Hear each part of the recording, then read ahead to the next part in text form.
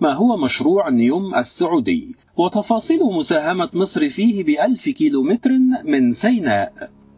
أعلنت المملكة العربية السعودية في عام 2017 عن مشروع نيوم وذلك ضمن رؤية المملكة 2030 ووفقا للإعلان فقد شاركت مصر بألف كيلومتر مربع من أراضيها في جنوب سيناء لتكون جزءا من مشروع مدينة نيوم السعودية العملاقة التي أعلنت عنها. وفي أكتوبر من عام 2017 قد أعلن ولي العهد السعودي الأمير محمد بن سلمان عن خطة إنشاء منطقة نيوم التي تمتد لأول مرة بين ثلاث دول هي السعودية ومصر والأردن باستثمارات تبلغ 500 مليار دولار وتقع المنطقة شمال غرب المملكة على مساحة 26.5 ألف كيلو متر مربع وتطل من الشمال والغرب على البحر الأحمر وخليج العقبة بطول 468 كيلومتر وتحيط بها من الشرق جبال بارتفاع 2500 متر. وبحسب ما أعلنه بن سلمان فإن المشروع سيركز على تسع قطاعات استثمارية متخصصة على أن تنتهي المرحلة الأولى منه في 2025 وطلبت من شركات بناء محلية تشييد خمسة قصور هناك فضلا عن التفاوض مع سبع شركات سياحية والملاحة السياحية وتهدف إلى بناء موانئ خاصة باليخوت. ومن المقرر أن تشارك مصر من خلال تطوير منطقتي شرم الشيخ والغردقة وستكون هذه الأراضي الواقعة بمحاذاة البحر الأحمر. ستكون جزءا من صندوق مشترك. قيمته عشرة مليارات دولار أعلنت مصر والسعودية تأسيسه الأحد.